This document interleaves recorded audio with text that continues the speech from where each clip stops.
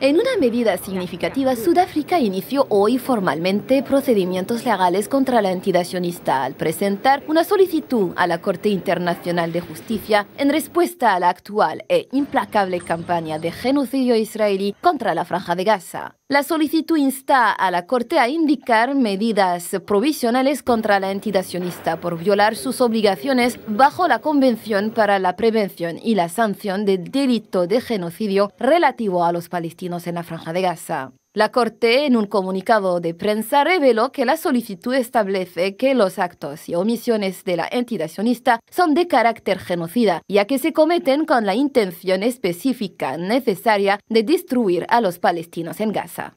Los actos y omisiones de Israel son de carácter genocida, ya que se cometen con la intención específica necesaria de destruir a los palestinos en Gaza como parte del grupo nacional, racial y étnico palestino más amplio. La conducta de Israel a través de sus órganos estatales, agentes estatales y otras personas y entidades que actúan siguiendo sus instrucciones o bajo su dirección, control o influencia en relación con los palestinos en Gaza, viola sus obligaciones en virtud de la Convención sobre el Genocidio. Además de presentar la solicitud, Sudáfrica ha solicitado a la Corte que indique medidas provisionales para proteger contra daños graves e irreparables a los derechos del pueblo palestino en virtud de la Convención sobre Genocidio. La acción legal se produce en el contexto de la actual campaña de genocidio sionista en la Franja de Gaza que provocó el asesinato de al menos 21.600 palestinos y 56.000 heridos.